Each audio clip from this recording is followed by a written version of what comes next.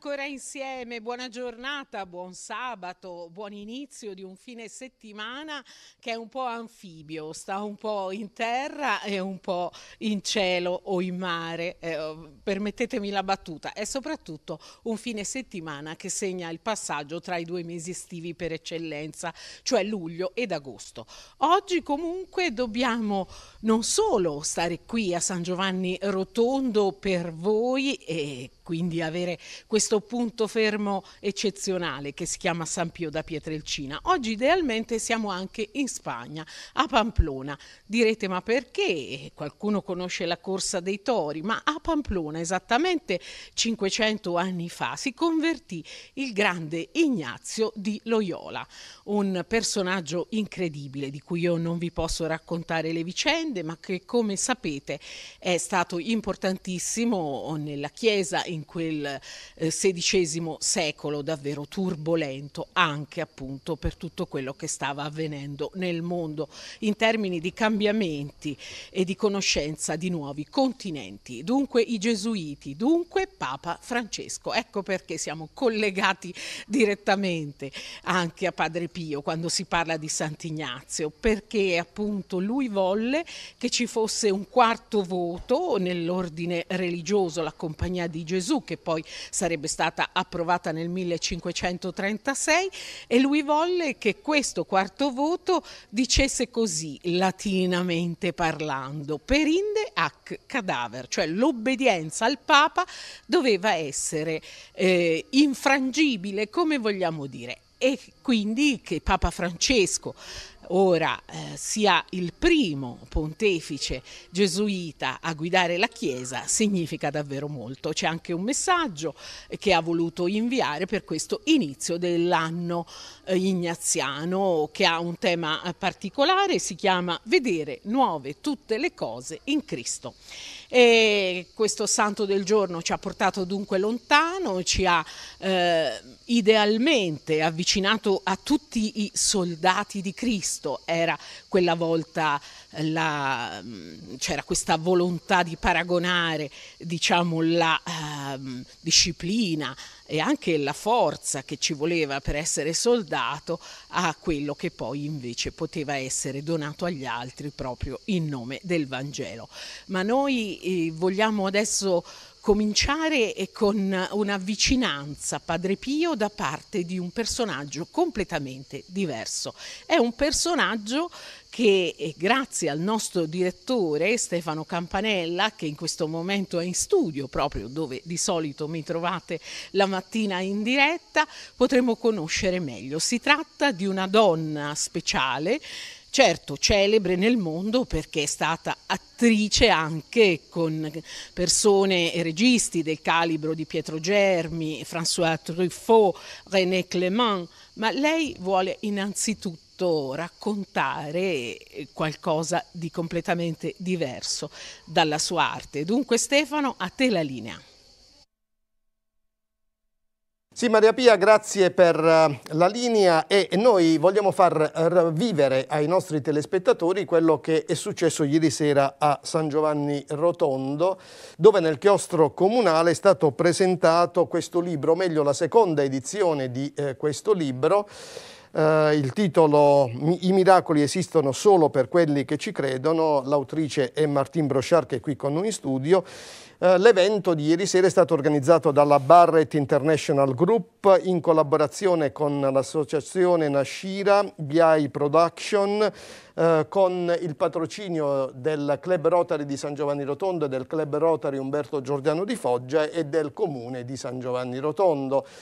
Uh, ieri sera uh, è intervenuta alla presentazione del libro non soltanto uh, l'autrice Martine Brochard, ma anche il dottor Tito Scalzulli, che è un dirigente medico dell'ematologia di Casa Sollievo della Sofferenza, e sono entrambi con noi in studio. Perché? Perché l'autrice appunto è Martine Brochard, che è anche la protagonista di questa che potremmo chiamare una sorta di autobiografia, al cui interno gran parte dello spazio è dedicato alla diciamo, storia della sua malattia.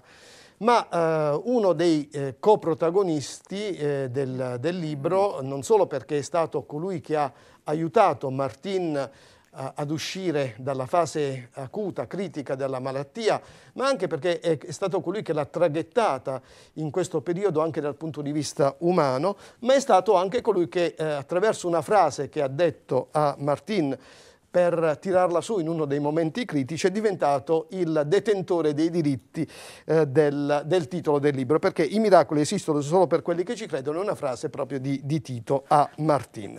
Anzitutto benvenuti in, in studio e eh, chiediamo a Martin eh, come mai è stata pensata una seconda edizione di questo libro che tu hai già presentato nei nostri studi nella prima edizione qualche anno fa. Sì, lì uscivo da una chemio quando sono venuta, me lo ricordo. Quindi adesso ti possono vedere, nonostante la mascherina, per quello che è possibile, sì, in una forma migliore. Sto, sì, sto molto meglio.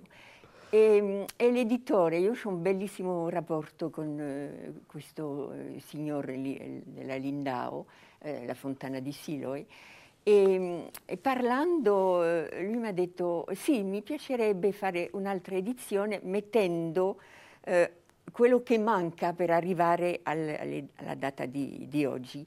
E soprattutto eh, l'intervista che eh, Tito ha fatto con Radio Vaticana dove parla di queste nuove medicine, infatti eh, per questo questa famosa frase quando eh, mi ricordo non c'era ancora questo che facevo le chemion, eccetera.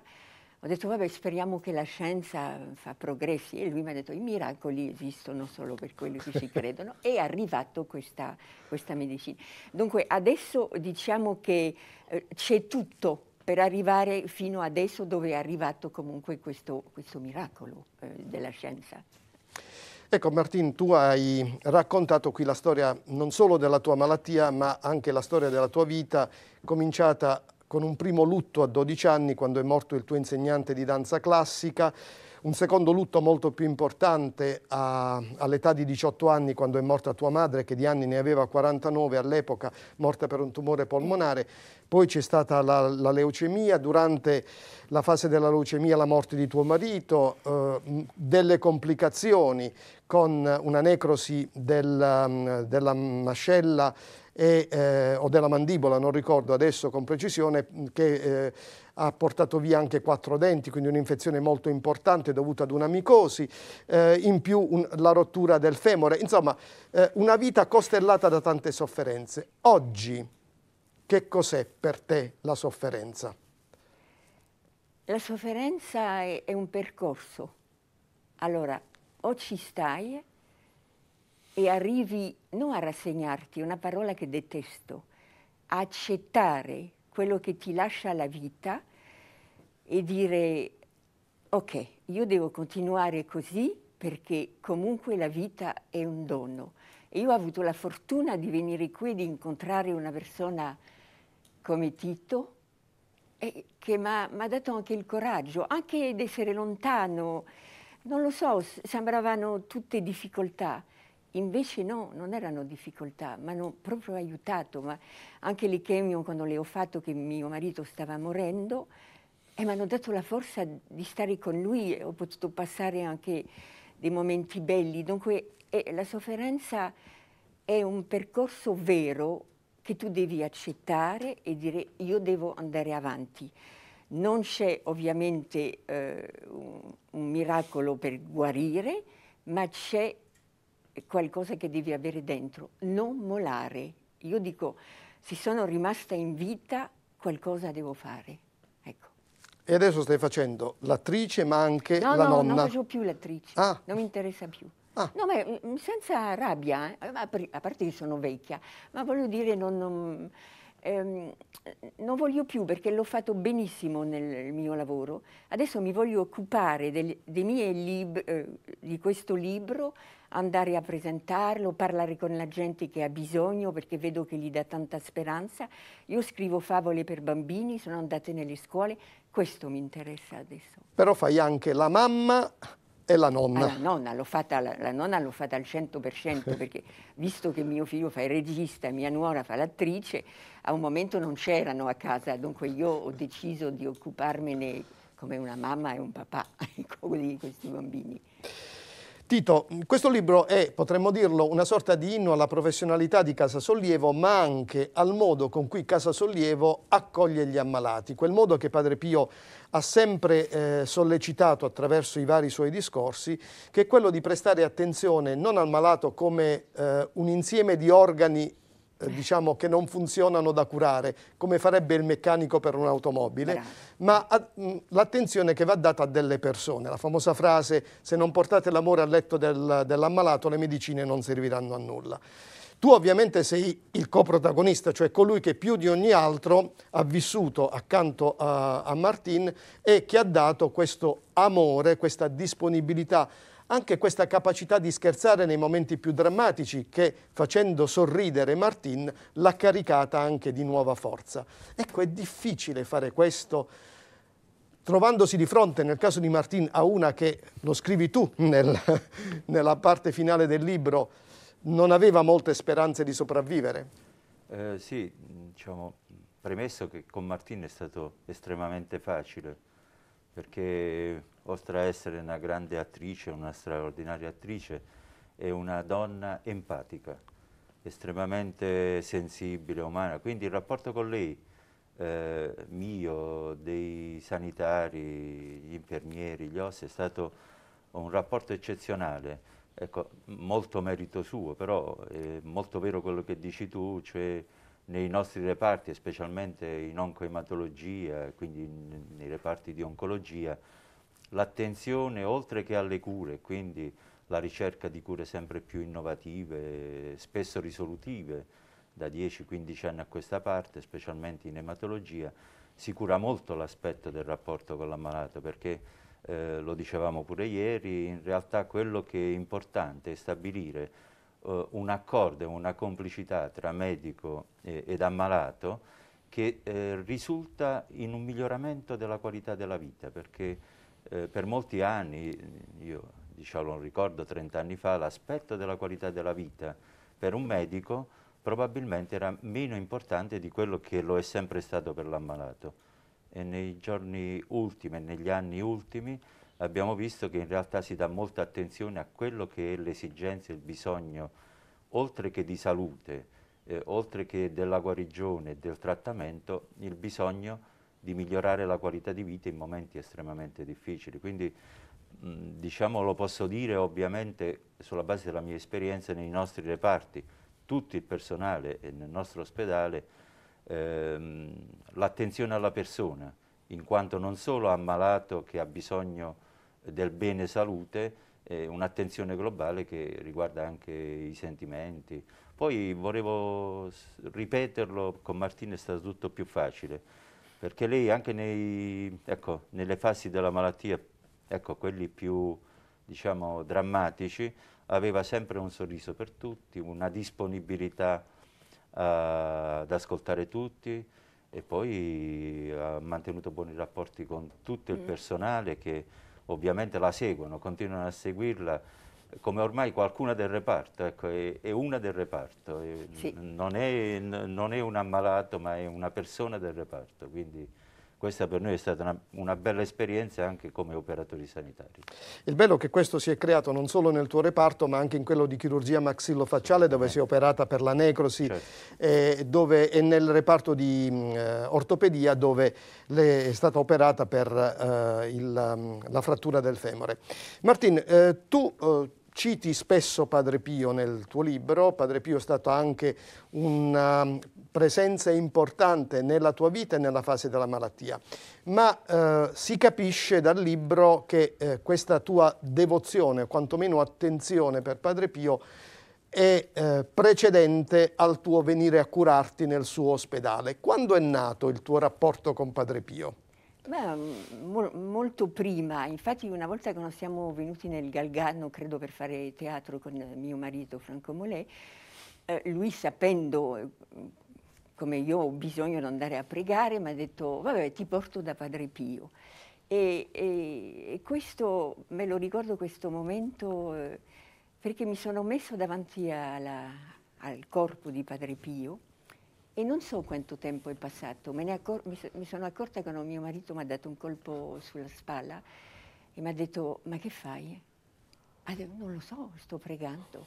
Ho sentito come una forza, qualcosa che stavo bene. C'è il momento che tu non puoi nemmeno spiegare, ma stavo bene, non avevo voglia di alzarmi, non avevo voglia di niente. E io mi ricordo che ogni volta che facevo le chemio e quando potevo uscire, andavo nella cripta e io guardavo eh, il, la, il mosaico di Gesù che diceva io sono la vita. E io uscivo e dico io sono la vita. E me lo ripetevo sempre. Tito, eh, abbiamo fatto riferimento all'umanizzazione della cura che c'è in Casa Sollievo, ma dobbiamo anche sottolineare la professionalità e eh, l'attenzione all'evoluzione della scienza che eh, si segue a Casa Sollievo. Tu hai accolto Martin che proveniva da un altro centro, non diciamo quale, in cui ehm, non avevano individuato la cura corretta. Sei, in, sei, riuscito a rimettere in sesto una situazione già destabilizzata, ma ehm, alla fine del percorso terapeutico hai intercettato un farmaco che eh, si è riuscito ad ottenere per lei quando ancora non era autorizzato dall'AIFA per uso compassionevole che è stata la svolta eh, nella, nella, cura di Martini. Ecco, quanto è importante da un lato la ricerca scientifica, dall'altra da parte dei medici ospedalieri il tenersi aggiornato sulla ricerca, altrimenti i ricercatori fanno ma i medici non sanno che c'è questa evoluzione. Assolutamente, diciamo che la storia clinica di Martin ha avuto due fasi. La prima fase è stata quella dove noi l'abbiamo accolto in condizioni cliniche abbastanza critiche. E in questa fase qui noi avevamo a disposizione la chemioterapia classica con un'immunoterapia che già era un'evoluzione di quella che era un trattamento eh, diciamo di, di standardizzato da molti anni. In realtà lei questa immunoterapia non ha avuto nemmeno la possibilità di poterla fare perché ha avuto una gravissima reazione allergica a questo farmaco, un anti-CD20.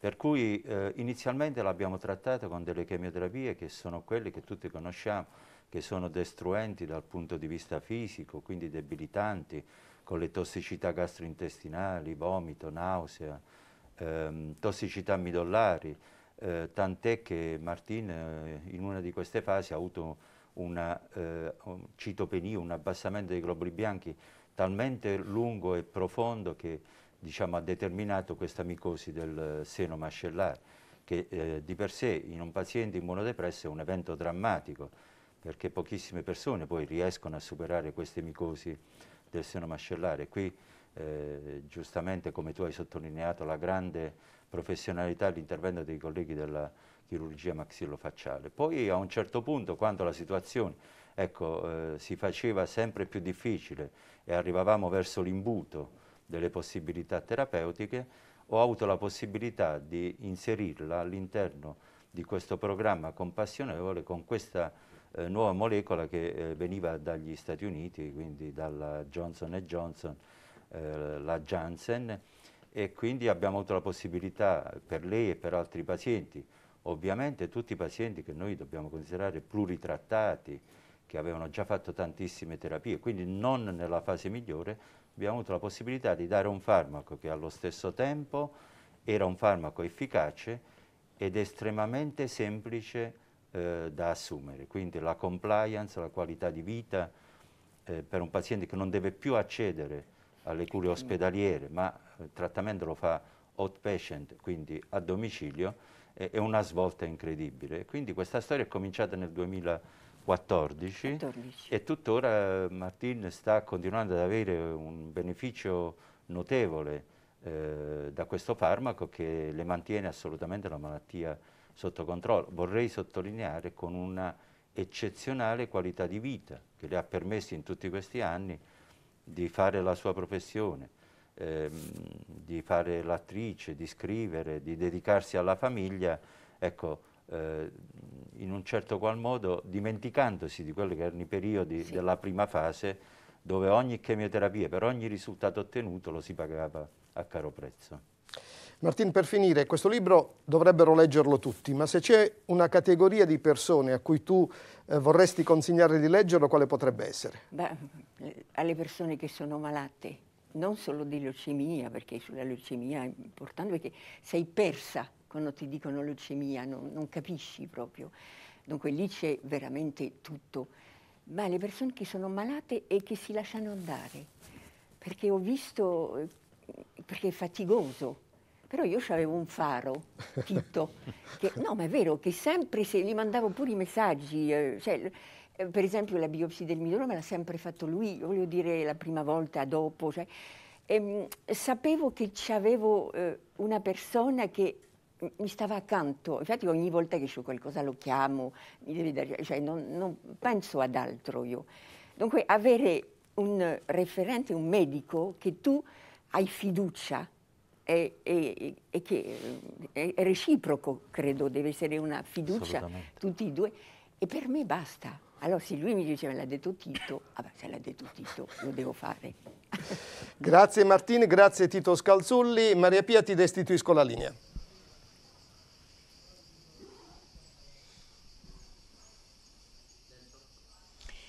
Una preziosa doppia testimonianza, quella che abbiamo ascoltato, grazie Stefano. E intanto, come vedete, siamo qui in diretta proprio davanti all'ingresso liturgico della chiesa San Pio, dove c'è stata una celebrazione alle ore 10 e la prossima naturalmente che seguiremo e a cui parteciperemo in diretta è alle 11.30. Ma intanto, come di consueto, abbiamo anche aperto l'archivio oh, per dare uno sguardo a quei gruppi di pellegrini che con entusiasmo, con il sorriso e con fede sono stati qui nei decenni scorsi. Questa volta è il momento, credo che lo stiate già vedendo, del gruppo di preghiera di Pagliano Milanese. E con un saluto ideale a tutti coloro che stanno organizzando appunto in gruppo il loro pellegrinaggio qui a San Giovanni Rotondo, ora diamo la linea alla regia. Non vogliamo stare continuamente a pensare al caldo rovente che ci affligge, ma eh, devo farlo semplicemente eh, perché adesso vogliamo reintrodurre un tema che fa parte del nostro presente, ma soprattutto farà sempre più parte del nostro futuro, perché a quanto pare anche le massime istituzioni ormai hanno voluto dare la massima spinta perché il clima non sia più dall'uomo um, disturbato, potremmo dire, anche se sono fenomeni ovviamente secolari. Noi vediamo invece in questo periodo in tutta Europa, non soltanto i disastri dei roghi, degli incendi e saluto nuovamente i nostri telespettatori sardi e anche i siciliani che purtroppo hanno avuto nelle ultime ore un'altra parte di sofferenze in questo senso per i roghi, ma pensiamo anche alle inondazioni recenti in Germania, in Belgio. Insomma, c'è davvero un motivo per ritornare a fare di più per il clima e noi rivediamo un passaggio di un'intervista di Paola Russo poche settimane fa proprio a chi ha organizzato da cattolico un movimento perché eh, si cerchi di respingere il cambiamento climatico e di fare tutto ciò che è in nostro potere per rispettare il creato. Il Movimento Cattolico Mondiale per il Clima nasce grazie a due eventi con i quali la Chiesa e l'umanità hanno risposto alla crisi ecologica. Quali?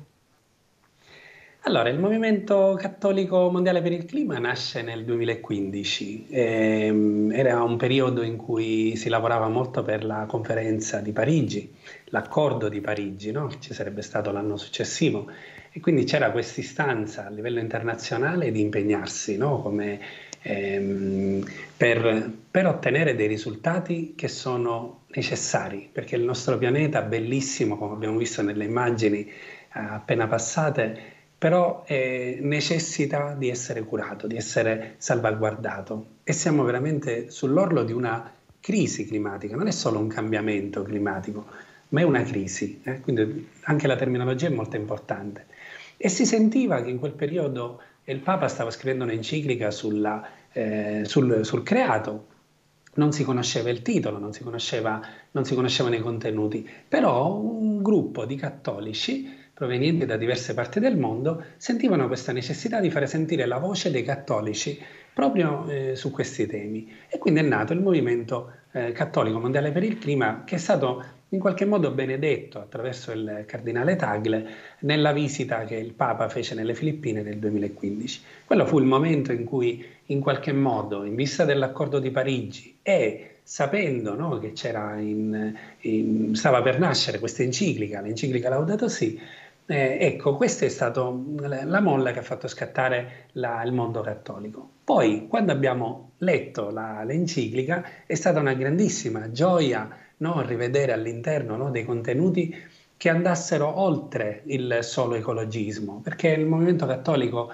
ehm, non, si differenzia un po' da molti ehm, movimenti ambientalisti, perché ecco, eh, il nostro focus non è legato solo al pianeta o alle specie viventi, si parte da lì, però mh, la salvaguardia di tutta la nostra casa comune, che è composta da relazioni. E in questo il nostro modello è San Francesco. Nella Laudato Si, al paragrafo 10, Papa Francesco delinea in quattro pennellate il rapporto di Francesco e le sue relazioni con il creato, con i fratelli, con Dio e con se stessi. Sono queste le quattro realtà che rappresentano in maniera molto sintetica che cos'è l'ecologia integrale. E quindi ecco, dalla crisi climatica si passa alla crisi socio-ambientale, perché tutto quello che riguarda la, il cambiamento climatico e la crisi ambientale determina dei disastri nelle altre parti del mondo, i tifoni delle Filippine per esempio, o piuttosto che eh, la crisi nell'Amazzonia, l'approvvigionamento delle risorse. Eh, e quindi ecco, questo ci chiama ad impegnarci come mondo, come realtà cattolica negli sforzi di advocacy, quindi alzare la voce, la voce profetica, i cattolici hanno il dovere di alzare la propria voce in difesa del creato. E quindi tra queste campagne che noi portiamo avanti, la più importante sicuramente è quella per il disinvestimento dalle fonti fossili. Eh, il mondo cattolico, tutto unito, riesce veramente a essere la principale istituzione al mondo per quantità di eh, dollari, parliamo di 3,8 trilioni di dollari disinvestiti in questi cinque anni in cui abbiamo coinvolto il mondo cattolico insieme, quindi ordini religiosi, diocesi, conferenze episcopali, reti internazionali, ospedali, università cattoliche, tutti insieme per disinvestire e annunciare. C'è un certo andirivieni intorno a noi, abbiamo salutato una famiglia abruzzese che però ha preferito non intervenire e ci sono via via pellegrini che alla spicciolata eh, stanno andando verso varie, eh, i vari corridoi che all'interno della chiesa di San Pio portano poi verso il focus, verso l'altare e noi oramai in queste settimane vi abbiamo fatto rivedere, soprattutto abbiamo avuto eh, le eh, preziose eh, consulenze di Carlos e Marianna a proposito di come è importante, come è davvero un lavoro per l'eternità questa nuova chiesa.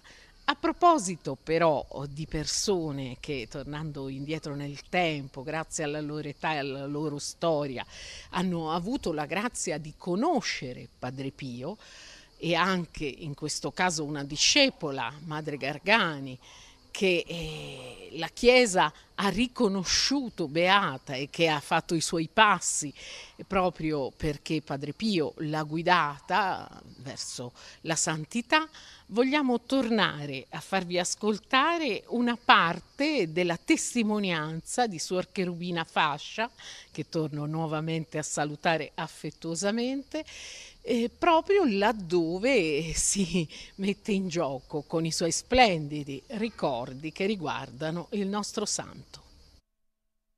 Nel 49 era un disastro qua, era tutto bosco, tutto spine, ruve, l'ira di Dio, ecco, Viale Cappuccino, lì dove c'è la, la, via Crucis, era una conetta che tanto quando siamo venuti ci siamo per finire, seduti per riposarci, tutto, eh.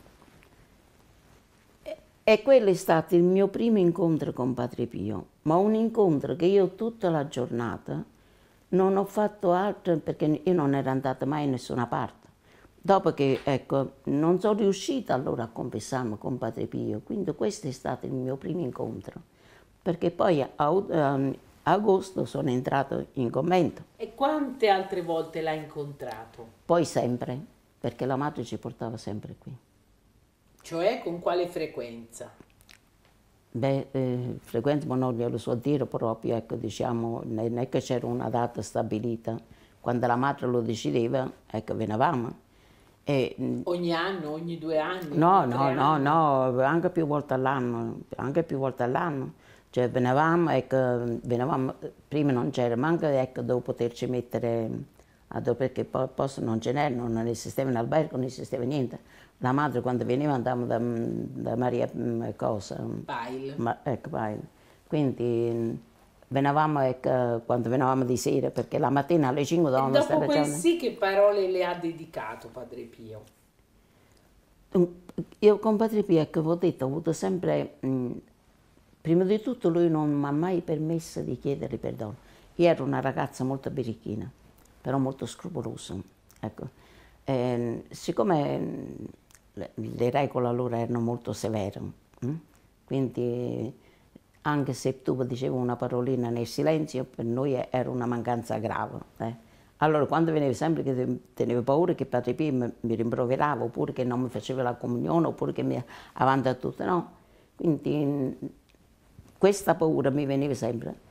E allora quando poi noi, oltre che venivamo alle funzioni, quindi la messa, poi avevamo anche i colloqui eh, separati con Padre Pio, no?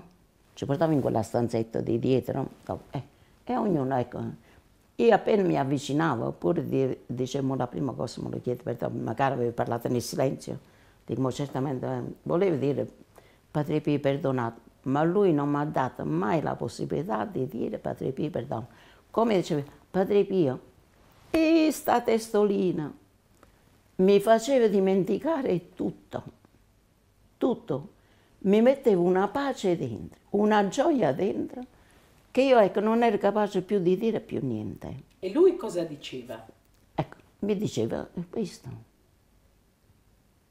che dovevo continuare ad amare Gesù dovevo continuare a fare la brava, brava sorina, la brava sposina. Eccoci con una splendida famiglia che arriva dal Veneto. Buongiorno, ben arrivati. Buongiorno, grazie. Da dove? Noi siamo precisamente di San Martino in Luperi, vicino a Padova, la città di Sant'Antonio. Padova la da, conosciamo tutti. Esatto, da, da, Sant'Antonio a Padre Pio, non poteva mancare. E questo passaggio come arriva per voi? Noi siamo amici dei frati, siamo amici dei frati di Sant'Antonio, ma anche dei frati cappuccini e quindi eravamo in vacanza e andando verso il Salento abbiamo detto non possiamo non passare per, a salutare Padre Pio. Un caro saluto, io conosco bene il santuario di San Leopoldo Mandic, sì. siamo stati e quindi portate i nostri saluti. Signora, posso fare una domanda veloce anche a lei, queste splendide figlie, la vostra storia, come vuole raccontarla brevemente, proprio per incoraggiare coloro che devono formarsi una famiglia? Ah, sicuramente eh, avere una famiglia è impegnativo anche per una donna lavorativamente, però danno molte soddisfazioni e secondo me è proprio un donare, un donare al mondo la possibilità di avere altri figli, di avere ehm, amore e affetto, quindi per me la famiglia è importante, cerchiamo, cerchiamo nel nostro piccolo di stare uniti. Una maggioranza al femminile. Eh. È la prima volta che vieni? Eh, non lo so. Questo è veramente bello. Sicuramente San Pio apprezzerà questa schiettezza. Allora, se c'è qualcuna che vuole intervenire. Sono un po' timide. Per adesso l'abbiamo disturbate abbastanza. Buon pellegrinaggio davvero di cuore. Complimenti per la vostra famiglia e di nuovo saluti a tutti i nostri amici padovani, quelli che conosciamo e quelli che ancora non abbiamo avuto il piacere di conoscere di persona. Adesso è il momento di dare la linea alla regia.